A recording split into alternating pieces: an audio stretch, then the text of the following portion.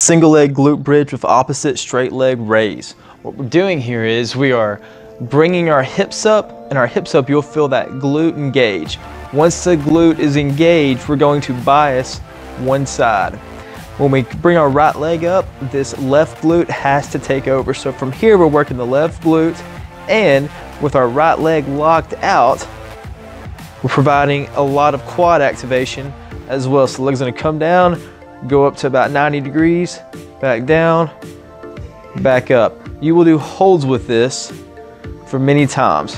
Remember, the hips have to stay parallel. If they begin to drop, then you've lost form. You need to stop and take a rest. Hips have to be up to parallel. You should be looking down at a straight line of your body.